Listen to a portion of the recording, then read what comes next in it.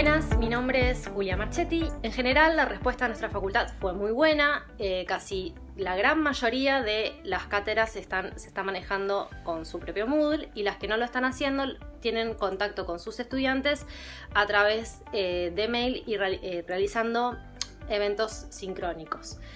En relación a los eventos sincrónicos, contamos con varias herramientas, licencias para Zoom y Webex, y en la última semana incorporamos BBB y estamos trabajando en la instalación de Jitsi en servidores locales. Em, este es un gran avance debido a que permitiría realizar eventos sincrónicos con dominios unlp.edu.ar Em, y sería muy beneficioso para em, estudiantes que tienen problemas de conectividad.